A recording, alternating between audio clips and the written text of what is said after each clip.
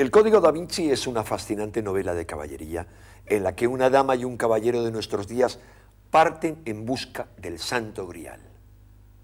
Este bestseller mundial ha vuelto a poner de actualidad un tema eterno.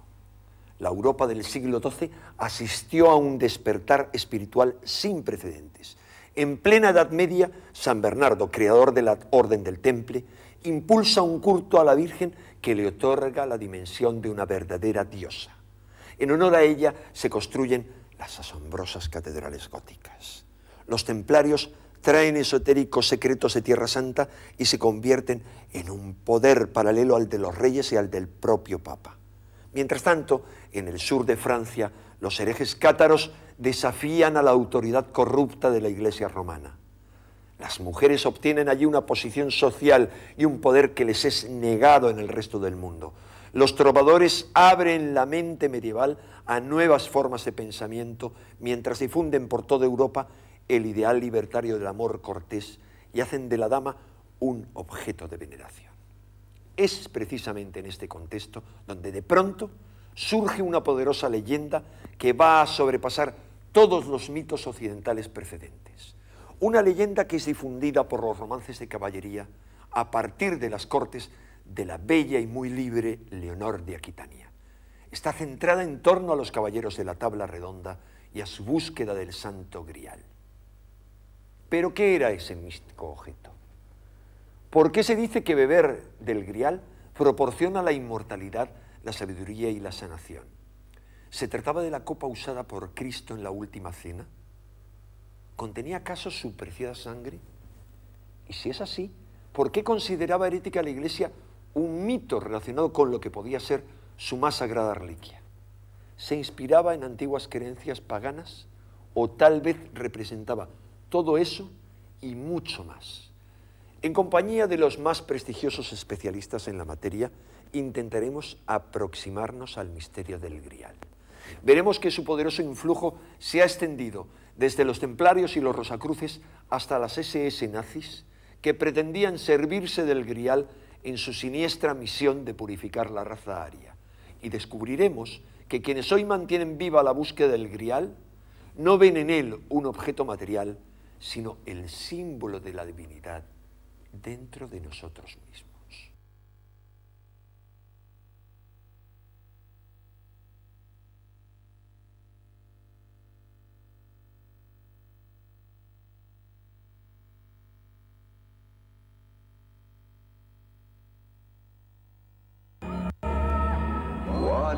Is the secret of the Grail?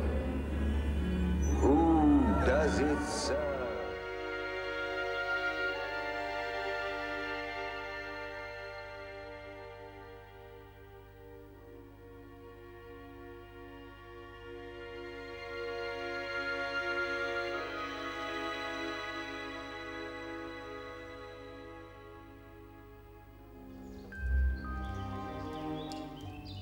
Me envió aquí una orden secreta de Inglaterra a la que pertenecí en otro tiempo.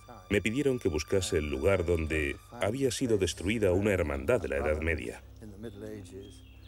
Y él dijo, estamos en 1937, el año del Grial, y he estado esperándole. ¿Ha encontrado muchos buscadores del Grial? Sí, muchos. Llegaban en hordas de todas partes y con ideas muy diferentes.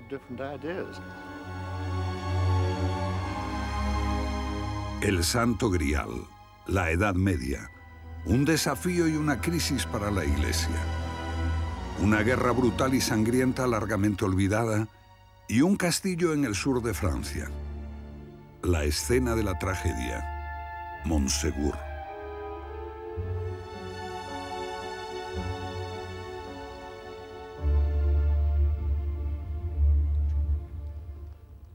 Un momento mágico en la mañana del 21 de junio, el solsticio de verano. A la noche más corta del año sigue el día más largo. En ese momento especial, el sol sale en Montsegur y sus primeros rayos penetran en el castillo. Montsegur, el último refugio de los peligrosos adversarios del catolicismo. Montsegur, el templo del sol para algunos, para otros, el castillo del Grial. El grial parece tener tantas interpretaciones como buscadores. ¿Existió de verdad o es un símbolo de otros grandes secretos, la búsqueda de algo más? Este fue el principal misterio de la Edad Media. Para algunos era el Santo Grial. Otros hablan del tesoro oculto del temple. Para mí es el Arca de la Alianza. No había ninguna reliquia religiosa más preciosa que el Arca de la Alianza. En el siglo XII, los templarios comenzaron su búsqueda. Con este objeto en sus manos, nadie los detendría. El escritor Graham Hancock siguió el rastro de los caballeros templarios por Etiopía y ante el guardián del arca. El temple se consideraba una orden privilegiada. Pienso que ello pudo deberse a que poseían ciertos objetos sagrados. Para el escritor Jan Wilson, la búsqueda del grial de los templarios fue por la posesión de la sábana santa de Turín, una imagen de Cristo muerto. La tela está en la Catedral de Turín, dentro de este cofre.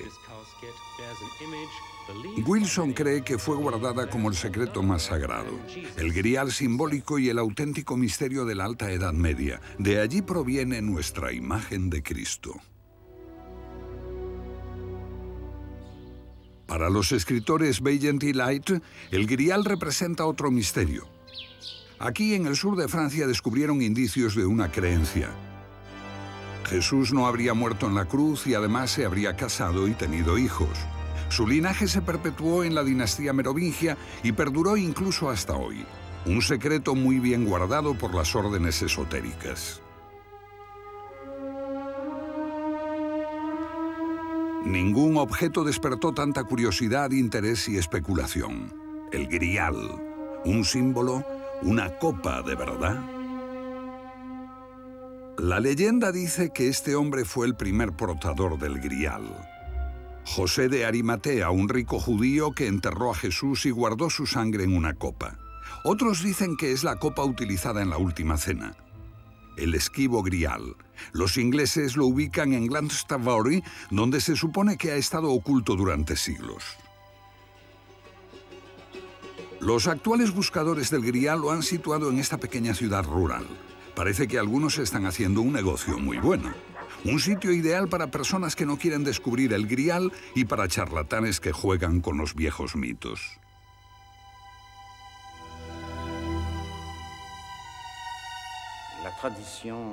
En la tradición celta, a José de Arimatea se le considera el tío abuelo de Jesús. Esta historia se corresponde con las leyendas gnósticas que llegaron hasta nosotros a través de los evangelios apócrifos. Esos textos también nos dicen que José de Arimatea usó la copa que Jesús utilizó en la última cena para recoger su sangre cuando lo bajaron de la cruz. Para llevar dicha copa a un lugar seguro, José de Arimatea viajó a la Armórica en Bretaña y a Glastonbury en Gran Bretaña, donde según la leyenda el grial fue enterrado en una colina. La leyenda relata que se convirtió en el padre de la iglesia celta, lejos de Roma, en verdes islas de bardos y druidas. Un mundo de tradiciones populares que nadie conoce mejor que el escritor e investigador bretón Jean Marcade. Los druidas tenían una visión muy espiritual del mundo y creían en una vida después de la muerte. Por eso, el mensaje cristiano fue aceptado fácilmente por la población celta. Muchos druidas empezaron a profesar la nueva religión. En sus rituales, no obstante, los cristianos celtas conservaron sus antiguos símbolos y creencias mágicas especialmente su culto a las piedras y a los árboles que consideraban sagrados.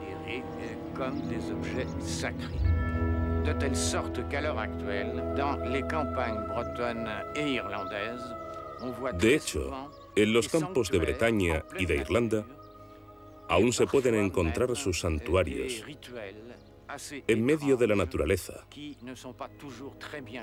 y vestigios de extraños ritos.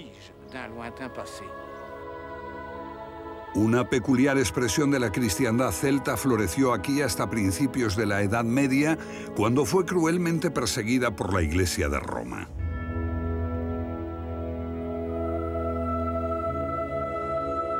La historia afirma que esto arruinó la abadía erigida sobre el sepulcro del rey Arturo, pero es dudoso que él haya estado alguna vez aquí.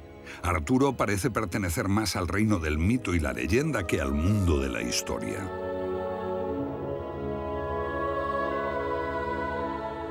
Arturo, el rey de la tabla redonda y la búsqueda del grial. Arturo fue un personaje histórico, pero no un rey. Era un líder guerrero, un general en la tradición romana, probablemente ataviado como un centurión. Y se unió con las tribus británicas en su lucha contra los invasores sajones. Obtuvo un importante éxito militar cerca del monte Vado, al suroeste de Inglaterra, y protegió a los bretones del dominio sajón durante 50 años. Podría ser que Arturo hubiese empezado su campaña desde el sur de Cadbury, en esta colina fortificada que data de la época romana. Pero aparte de las antiguas crónicas y de la tradición oral, no hay rastros de sus hazañas históricas, y estos trabajos no hablan de Arturo ni del mago Merlín.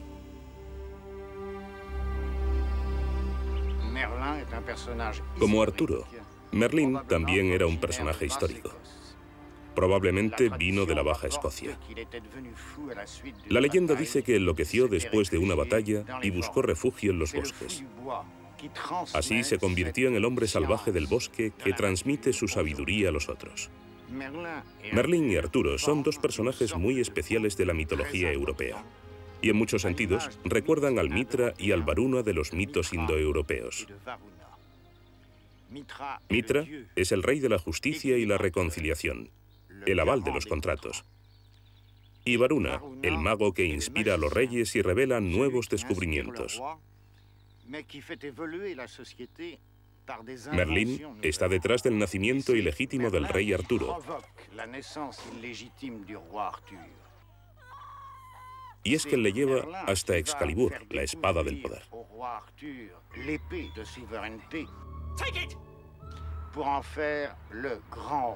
Para convertirlo en el gran monarca que se espera restaure el poder y la grandeza del reino. Entonces es cuando Merlín desaparece y deja que Arturo actúe solo. Lamentablemente, la leyenda cuenta que aunque Arturo poseía conocimientos druídicos, también era un rey corriente y mortal, con todas las debilidades humanas.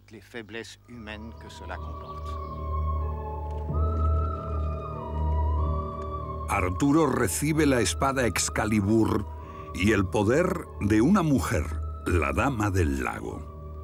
Pero todo se derrumbó cuando los perros de la guerra se desataron y el país quedó devastado y yermo.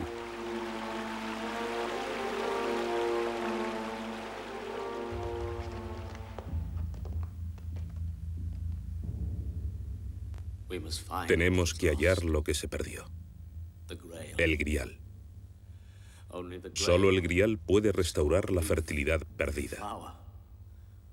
Busquen por todas partes. Solo el grial puede redimirnos. Hallar el grial o morir. The king has spoken. I will ride forth in the name of that quest. We will find this grail or die.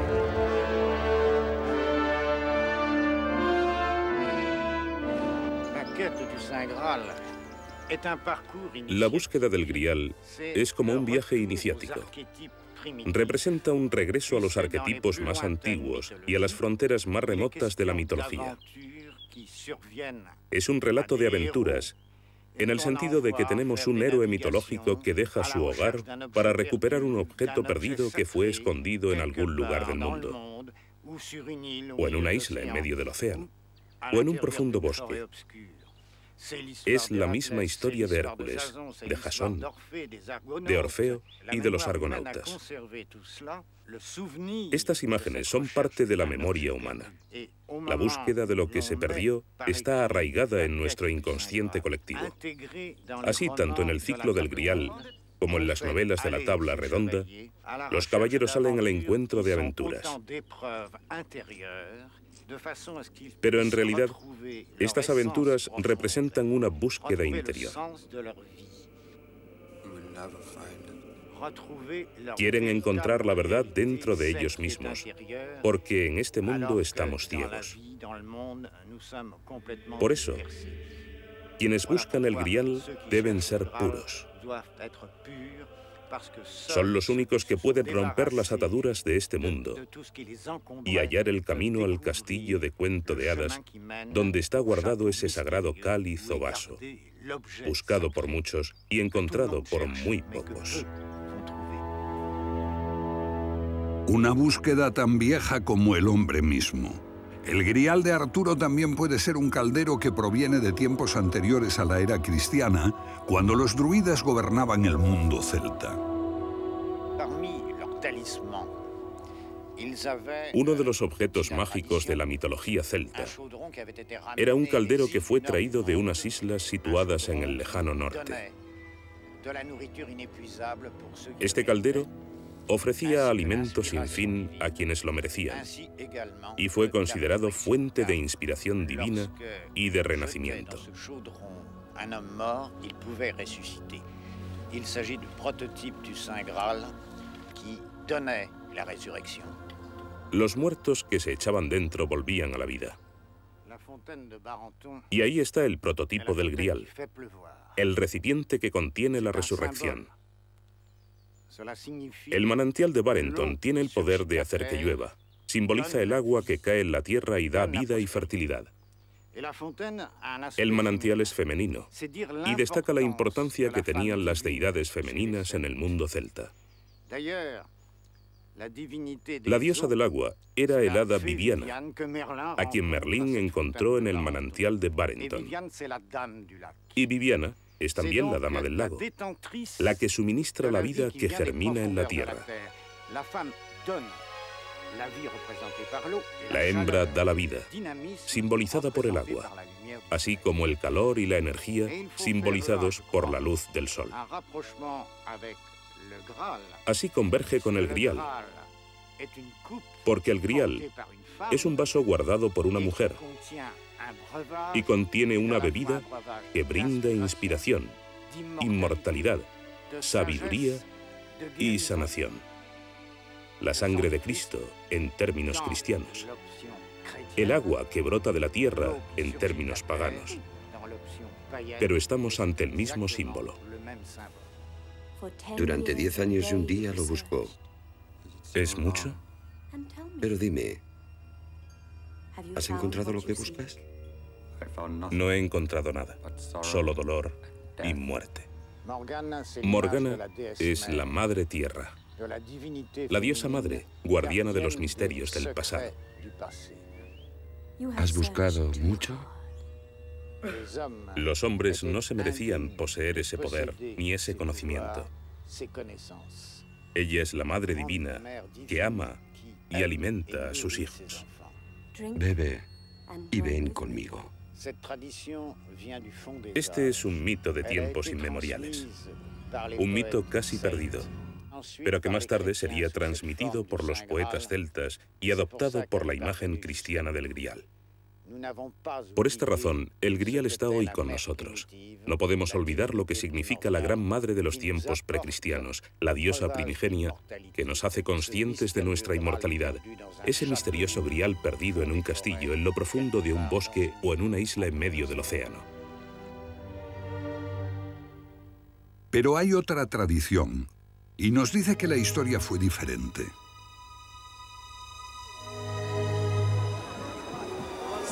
En esta playa francesa de Santa María del Mar, el grial se ha convertido en leyenda europea. Este es un acontecimiento que se celebra todos los años, la llegada a Europa de José de Arimatea y María Magdalena con el grial.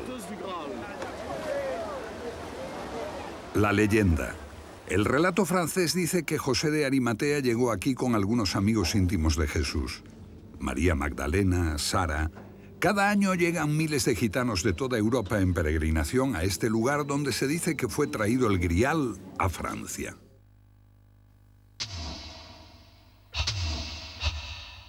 Y también aquí estalló un viejo conflicto dentro de la cristiandad y hubo una guerra.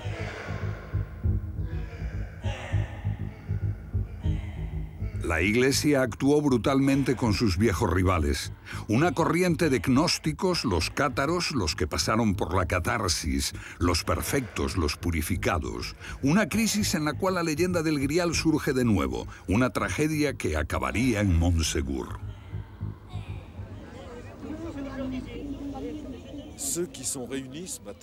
Quienes se congregaron aquí esta mañana, a los pies del castillo de Monsegur, han venido a conmemorar un acto de barbarie cometido hace 750 años. Después de un asedio que duró 10 meses, 250 perfectos que bajaron del castillo fueron quemados vivos en ese lugar. Este suplicio de Monsegur acabó con los cátaros. La mayoría de estos hombres y mujeres eran descendientes de soldados y también familias que durante diez meses lucharon y resistieron el asedio católico a Monsegur. Esta gente protesta ahora contra la intolerancia que acabó brutalmente con el catarismo. El catarismo nació en la Edad Media, pero tiene raíces tan antiguas como el catolicismo.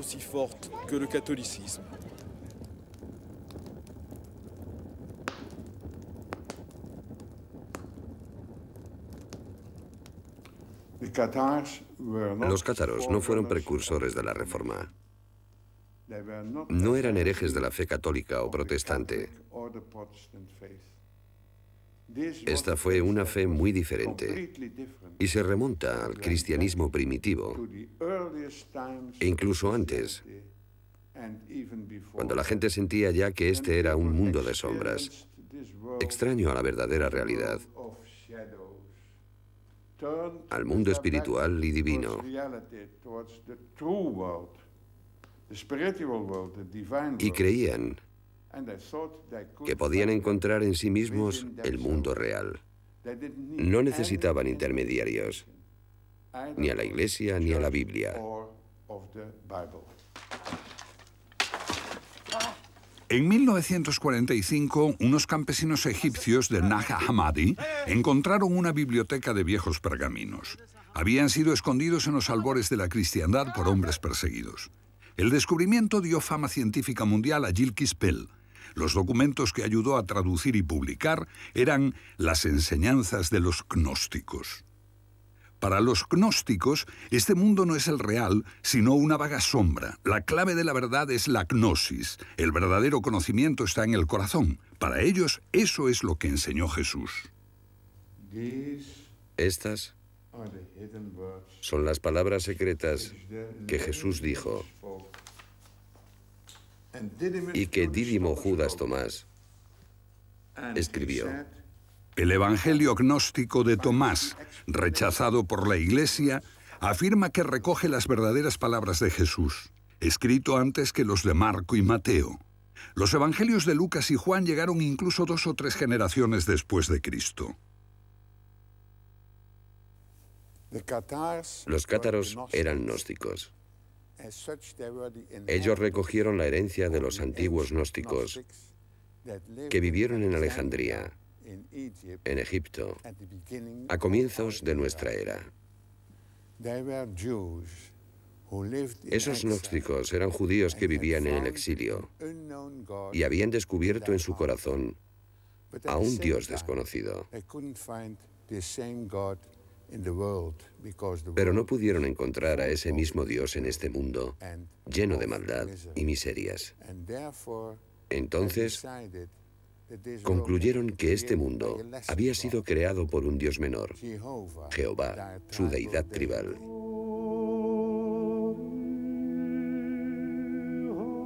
El mundo era un infierno. No puede ser la obra de un Dios bueno. Dios no pudo crear el paraíso y la tierra. Ese Dios del Viejo Testamento creó solo la materia. Para los gnósticos, Jehová es un falso Dios. Al crear al hombre, lo aprisionó en la materia, lo arrastró a una vida de dolor que acaba en la muerte, y el hombre, creado a su imagen, está tan absorto por crear, construir y acumular que ignora la chispa de la verdad y lo divino que hay dentro de él. Pero el hombre puede hallar la luz divina, si no en esta vida, tal vez en otra, porque los gnósticos creían en la reencarnación. Cuando los judíos egipcios de Alejandría se convirtieron al cristianismo, Jesús apeló a su más profundo yo y les enseñó el camino de su ser más íntimo. Les dijo, quien se conoce a sí mismo, conoce a Dios. Para los gnósticos, Jesús no era el Hijo de Dios, sino un mensajero que enseñaba el camino hacia el auténtico yo, un camino interior. Para la Iglesia Jesús murió por nuestros pecados. Nuestra única esperanza está en la misericordia de Dios con la intermediación de la Iglesia. La Iglesia debe señalar el camino y nosotros obedecer.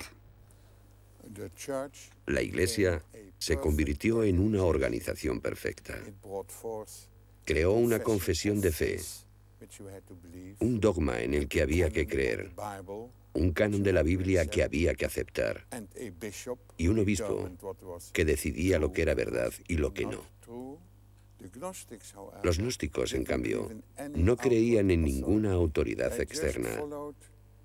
Solo se guiaban por la noxis de su corazón y nada mejor que eso. Amargas disputas teológicas dominaron el primer siglo de nuestra era. Nicea, año 324. Constantino, el primer emperador romano en abrazar la fe, convoca a los obispos. Lo que Constantino impone se convertirá en la base del credo cristiano hasta hoy. Creemos en un Dios creador de todas las cosas visibles e invisibles y en un Señor, Jesucristo, el Hijo de Dios engendrado por el Padre. Como estadista, Constantino opta por la organización. El catolicismo prevalece. Las doctrinas gnósticas mueren en la hoguera. Una fe personal. Los gnósticos quedan indefensos cuando esa iglesia poderosa comienza a perseguirlos.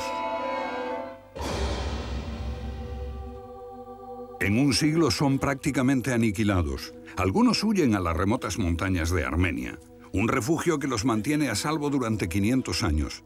Cerca del año 1000 son obligados a marcharse a Bulgaria. Allí recobran poder.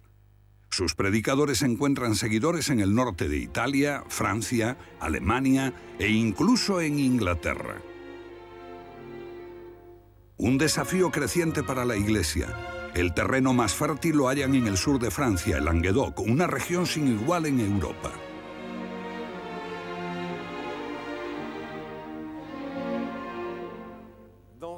En aquella Europa sumida en la oscuridad de la Edad Media,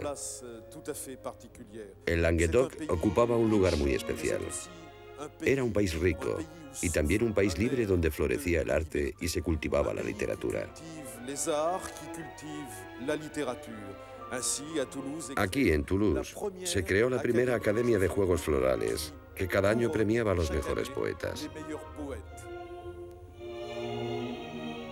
En los años oscuros de pronto surge la poesía, la literatura, la canción. Florece el comercio. El mundo musulmán se abre a nuevas ideas. Con palabras y canciones se proclama la libertad del hombre.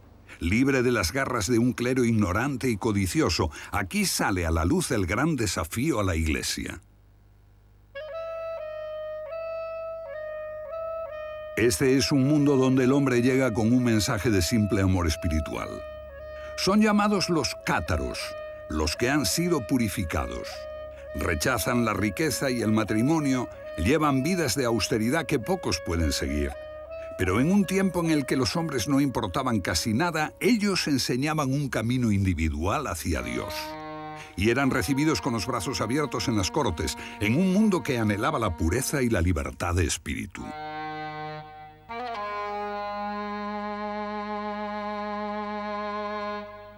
Este es el primer país donde son libres para difundir su palabra y desde aquí ayudan a promover una cadena de hechos que cambiarán la Europa medieval.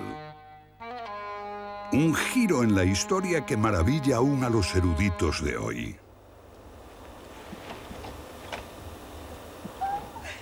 Un mundo totalmente agriado por la violencia masculina, de pronto sufre la conmoción de algo inesperado. El espíritu hace su reaparición en Europa y descubrimos que hay mejores cosas que matarnos unos a otros. Levi Strauss lo expresaba magníficamente cuando dice que en el siglo XII Europa perdió su gran oportunidad de permanecer femenina y optó por un profeta con barba. Este profeta barbudo simboliza el poder patriarcal, apoyado por la Iglesia y por la ley sálica. Esta es la ley que no permite a las mujeres que hereden e impone que solo los hombres puedan reinar. Es ley en toda Europa, con una sola excepción, el sur de Francia. En Aquitania no regía la ley sálica. Por eso Leonor de Aquitania pudo heredar un gran país. Se convirtió en su dueña y señora y se casó con el rey de Francia, que tenía muchas menos tierras. Pero después de 15 años a su lado, tuvo que anular el matrimonio porque él era como un monje. Esto fue escandaloso en aquellos tiempos, pero mayor escándalo fue su posterior matrimonio con Enrique II, heredero del trono de Inglaterra. Los recién casados reinaban en unos dominios que se extendían desde las fronteras de Escocia hasta los Pirineos, y en los cuales se daba cita una gran variedad de culturas, lenguas y gentes. Para mantener unido este reino, Leonor tuvo una idea fantástica. Se valió de la antigua saga celta de Arturo y el Grial para crear una ideología nueva en todas sus tierras.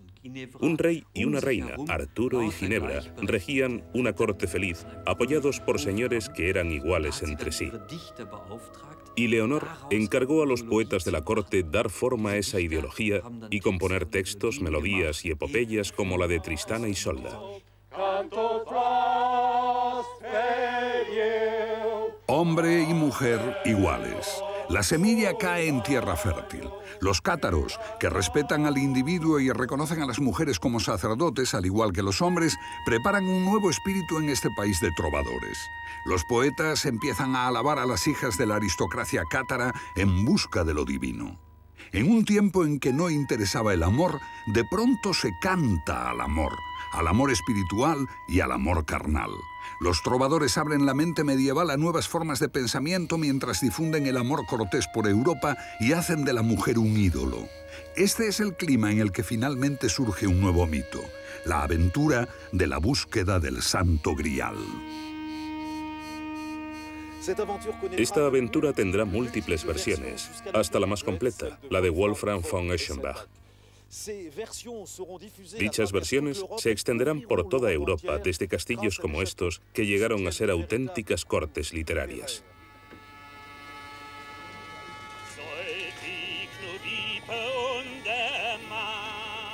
Ningún mito ha conquistado tanto los corazones de la Europa medieval. Nos habla de combate caballeresco, de amor, de amor y búsqueda, de la sangre de Cristo, de José de Arimatea, el esquivo grial y su misterioso castillo donde el mismo Cristo ofició la misa final. ¿Qué idioma es este? El alemán antiguo. El mismo que empleó Wolfram von Eschenbach para escribir su Parsifal. Parsifal, la última y más enigmática versión del mito. Para muchos, su autor, Wolfram von Eschenbach, estaba influido por las ideas cátaras. Parsifal entra en este mundo como un ignorante, pero se distingue por su conducta caballeresca. Al llegar al castillo del Grial no consigue liberar al guardián, el rey pescador, que fue herido misteriosamente. Solo cuando esté exhausto y humillado en este mundo material podrá descubrir cuál es la pregunta para deshacer el hechizo y curar la herida del rey pescador, alcanzando así el grial.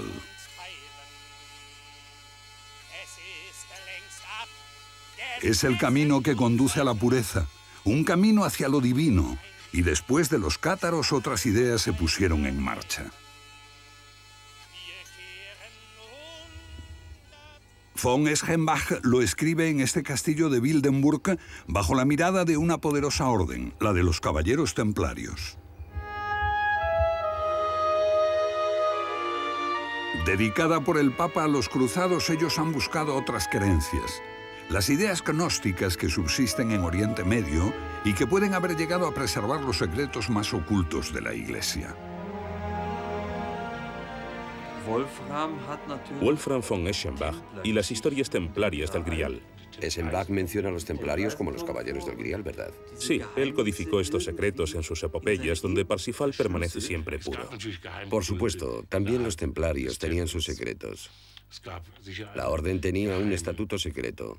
Y sin duda también debían haber poseído conocimientos y cultos secretos.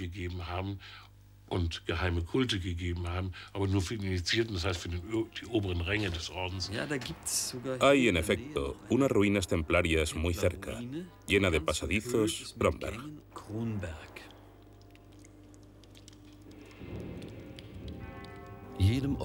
Los templarios tenían prohibido bajo amenaza de muerte revelar a nadie sus rituales secretos y sus reglas. Y sus castillos, casi todos en ruinas, eran extraterritoriales. Tenían un estatus especial, como si pertenecieran a otro poder religioso y secular. ¿Por qué era todo tan secreto si no tenían nada que ocultar?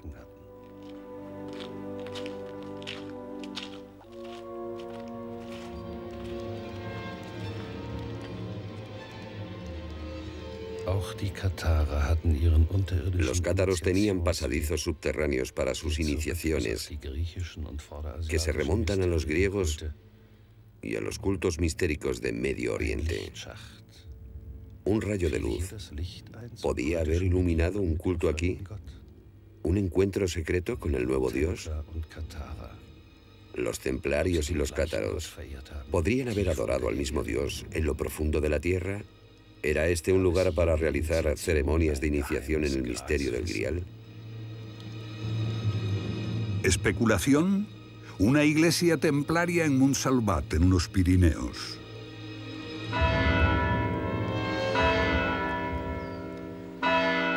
Y contiene asombrosas muestras de cultos muy antiguos, bastante ajenos a la iglesia de Roma. La cabeza de Sofía, que simboliza la verdad gnóstica símbolos de dioses paganos y de estrellas como Orión, la constelación del antiguo Egipto, venerada como el dios Osiris. Aquí está el gran cazador con Sirio, la estrella del perro, su compañero, o Isis, la consorte de Osiris.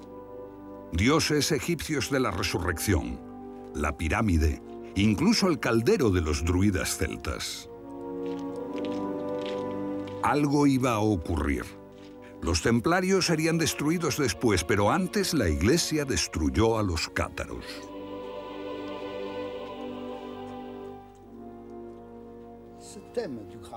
El tema del grial surge en el mismo momento en que la Iglesia estaba intentando solucionar una serie de problemas, en particular el relacionado con la Eucaristía. Y no es casualidad que el ciclo completo del grial se forme en 1215, cuando el Concilio Laterano proclamó la transubstanciación, esto significa asumir como dogma el misterio por el cual el pan de la hostia y el vino realmente se transforman en el cuerpo y sangre de Cristo, algo en lo que no creían los cátaros.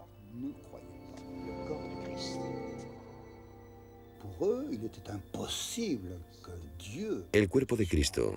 Para ellos era inconcebible que Dios pudiera reencarnarse en un cuerpo vil y material, un cuerpo humano, una creación diabólica.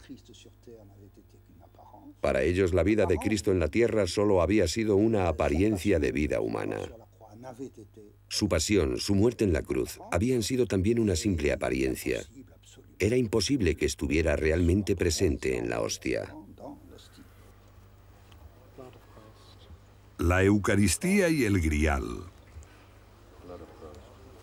La sangre de Cristo armas para las mayores pruebas que la Iglesia tenía que enfrentar. No eran las únicas. La Orden de los Franciscanos se fundó para reconquistar el corazón de los pobres casi entregados a los cátaros. Roma utiliza la aguda mente de Santo Domingo contra los gnósticos. En el debate teológico estaban a igual altura, pero la nueva orden de los dominicos crearía un arma muy especial para la ocasión, la Inquisición, que impuso el miedo en los siglos venideros. Y Roma hizo un llamamiento a las armas. Estimulados por la promesa del Papa de saqueo y conquista, los ejércitos cristianos del norte se unieron en una cruzada sin parangón contra otros cristianos. En pleno verano de 1209, el ejército del norte de Francia, apoyado por holandeses, frisones y germanos, llegaron ante esta formidable ciudad de Bersiers. Una ciudad impresionante y amurallada, con 15 o 20 mil habitantes y 200 cátaros, cuya entrega reclamaron a la población los enviados papales. Cuando al día siguiente cae la ciudad, el enviado papal ordena, matadlos a todos, Dios reconocerá a los suyos en el cielo. Las iglesias fueron el escenario de la masacre y el escándalo. Cristianos contra cristianos y en el nombre de Cristo, la primera vez en la historia del mundo. La historia dice que no lo habíamos hecho peor incluso contra los sarracenos. Ríos de sangre de miles de civiles exterminados, una ciudad entera. Mata a todos que Dios reconocerá a los suyos en el cielo. Sí, Dios reconocerá a los suyos, cátaros y católicos por igual.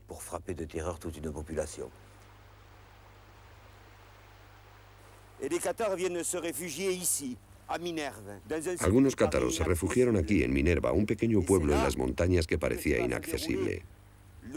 Y se repitió la segunda gran tragedia de las cruzadas. Esa vez fue el suplicio en la hoguera. Al rendirse, se pidió a los cátaros que abjurasen de su fe, pero respondieron que no, tenían que ser quemados. Era la ley de la iglesia. Allí, en aquel prado, se apiló la leña. Serían arrojados en ese lugar, pero decidieron saltar ellos mismos. Estaban convencidos de que su martirio les conduciría directamente al cielo, a la divinidad. Y saltaron y murieron 140 hombres y mujeres fieles a su fe.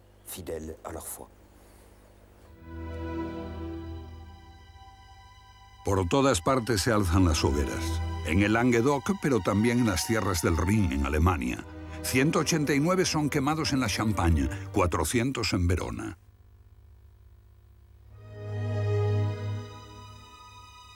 El Languedoc, la región más rica de Europa, es pasada a cuchillo. Languidece bajo un siglo de cruzadas y persecuciones mientras la iglesia maldice a los cátaros.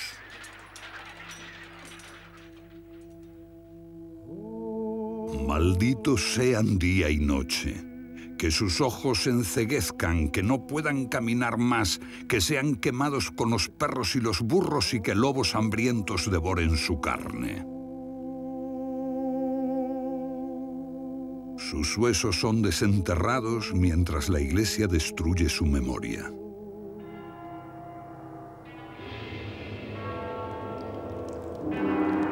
Pero es la Inquisición la que destruirá el espíritu del Languedoc. Hasta el pueblo más pequeño, cada granja es escudriñada.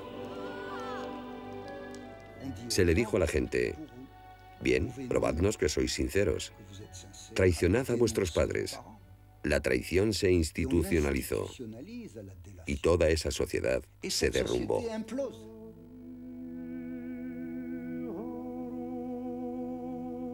La agonía de la tierra se refleja en los rostros. No obstante, deberán pasar 100 años antes de que muera el último cátaro. El Ánguedo está exhausto, su gente literalmente diezmada. La oscuridad durará siglos. En Montsegur, la montaña refugio de los cátaros, la tragedia llega a su clímax. El asedio acaba tras 10 meses. Pero poco antes un líder cátaro y tres hombres atraviesan las líneas enemigas y desaparecen en los centenares de grutas de las proximidades. Lo que transportaban sería motivo de rumores durante siglos. ¿Tesoros? ¿O solo medios de salvación y la esperanza de preservar su fe? La leyenda diría más tarde, ¿el santo grial?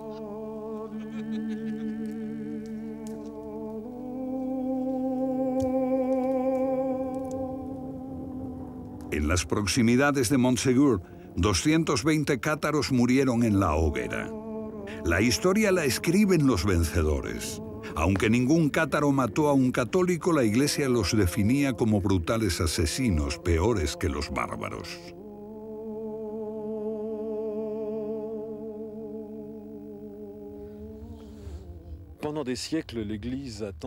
Durante siglos, la Iglesia trató de que la gente olvidara las hogueras y el catarismo. Pero desde hace unos 50 años, Monsegur surgió del olvido, salió de la oscuridad, gracias a los poetas y a los historiadores, pero también a las sociedades esotéricas afines al catarismo.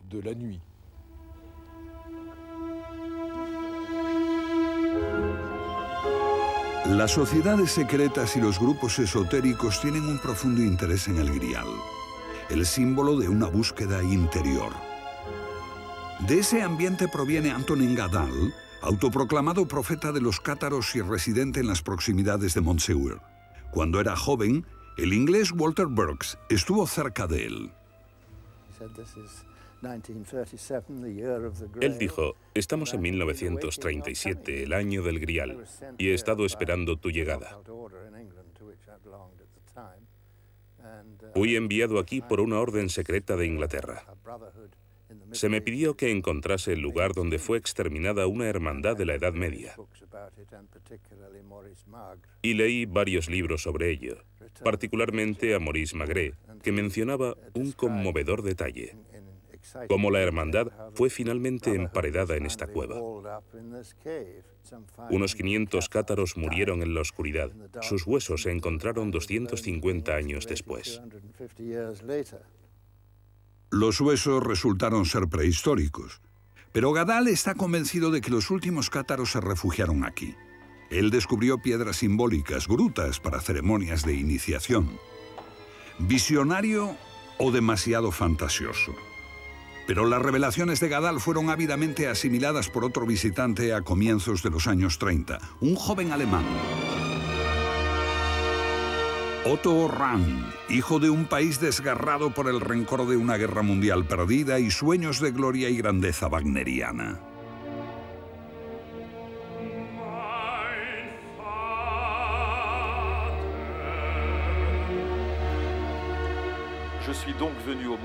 Nací bajo el brillo mágico del Grial. Parsifal, Sigfrido, Odín, Botán fueron mis padrinos. Sin este alemán romántico, Otto Rahn, no habría existido un renacimiento del Grial, ni de Monsegur, ni de los cátaros. Otto Rahn, inspirado por Gadal, explora con esmero las grutas y montañas próximas a Montsegur y publica un libro, La cruzada contra el Grial. Un libro que él pensaba sería traducido en todo el mundo. Y así alemanes, holandeses, ingleses, todos vendrían a este lugar para visitar las cuevas de iniciación de los cátaros, los portadores y adoradores del Grial. El autor de este libro maravilloso sabía que Monsegur era el auténtico castillo del Grial. Sacado de contrabando de Montsegur la noche antes de su caída, el grial fue escondido en las grutas cercanas, dice Ram. Otto Ram visita con frecuencia a la familia de Christian Bernadac y Bernadac queda fascinado por el alemán. En su doctrina, el partido sería inmutable y su organización fuerte como el acero y como una orden en todas partes. Hitler funda su imperio con la intención de que durase mil años. Pocos se dieron cuenta de que su proyecto se inspiraba en la ideología mistérica y el ocultismo. Su principal exponente fue un hombre de inmenso poder, Heinrich Himmler, Führer de las SS, el jefe de la Gestapo. A Himmler le gustó el libro de Rang, quedó fascinado por el grial y Ram fue admitido en las SS como miembro del equipo de Himmler.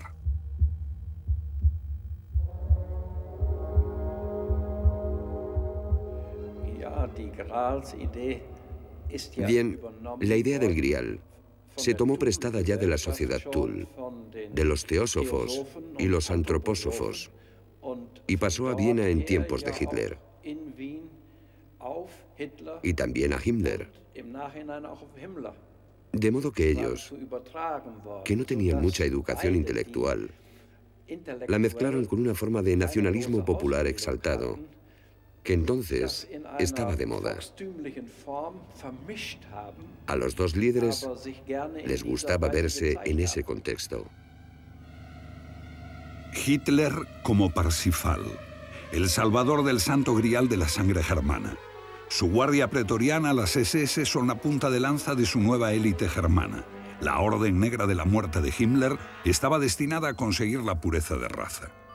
Himmler inspeccionaba los campos de concentración, los veía como una tierra de iniciación, un lugar donde las SS podían templar su carácter y participar en el secreto de la muerte. Y esto es el Bebelsburg, su castillo secreto de la tabla redonda, donde los doce tenientes generales más destacados de su círculo más íntimo se reunían para planear el futuro. Él no le permitía a nadie ver sus cartas. Desde aquí, la vida más íntima de las SS fue tomando forma. En torno a este sol negro, los elegidos de Himmler hacen planes sobre el futuro oculto de los nazis. Bebelsburg será el centro de las SS. Su forma evocaba la lanza sagrada que hirió a Cristo en un costado.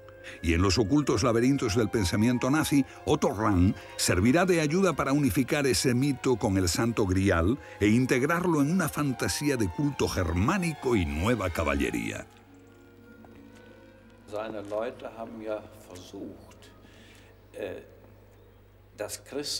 Su gente trató de doblegar a la cristiandad de tal forma que sus verdaderos orígenes deben de buscarse en la cuna de los arios y no en Oriente Medio.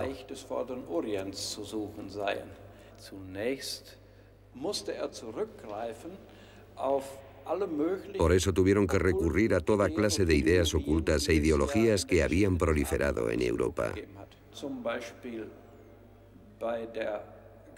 La búsqueda del grial, por ejemplo.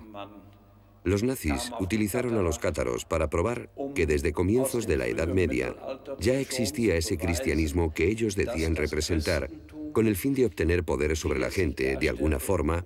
Las SS querían conquistar la conciencia europea introduciendo un nuevo culto. Y no es necesario recordar que la población quedaría atrapada por completo en un nuevo tipo de oscura esclavitud.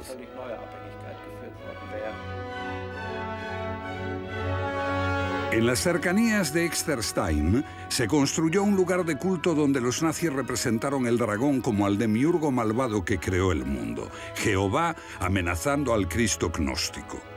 Lo que le gustaba a Himmler del libro de Ram era encontrar gnósticos que rechazaran al Dios judío del Antiguo Testamento y se liberaran de la Iglesia.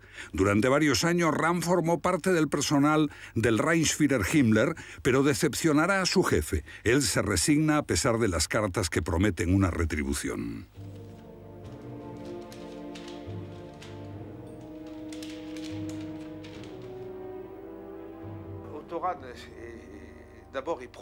Otto Rahn, lo primero de todo, está horrorizado por su experiencia en un campo de concentración. Él va a Oranienburg, a Buchenwald, a Dachau y presencia los crímenes. No ve las cámaras de gas, pero sí la brutalidad y el horror. Probablemente esto supone un gran trauma. Y luego le envían a aquellas infames casas de Leversbonn, donde jóvenes muchachas arias, hermosas, todas rubias, ofrecen sus cuerpos para parir niños.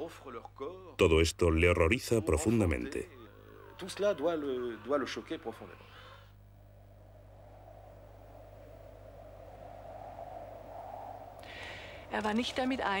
Él no estaba de acuerdo con un intento de las SS para utilizar mal el conocimiento del Santo Grial.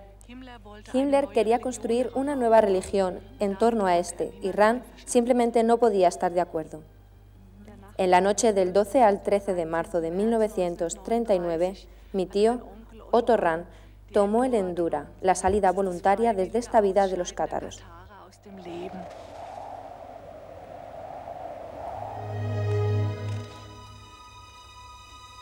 Pero el interés volvió a despertarse. Actualmente, cada año miles de personas visitan las cuevas y el castillo de Montsegur, no por las fantasías nazis, sino para intentar tocar una fe apacible que fue borrada desde la tierra. La mayoría simplemente se buscan a sí mismos, aunque algunos también van en busca del grial.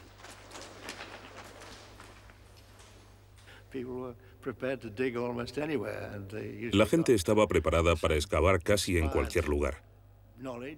Posiblemente estaban inspirados por alguna fuente de conocimiento sobrenatural para saber dónde excavar. Pero el grial no es un objeto material que tú puedas encontrar físicamente. Es un símbolo que se refiere a la posibilidad de absorber algo de lo divino. Obviamente, si tenemos una experiencia con lo divino, no podemos absorberlo, solo lo que nuestra capacidad nos permita. Simbólicamente la copa puede contener alguna porción de la luz divina.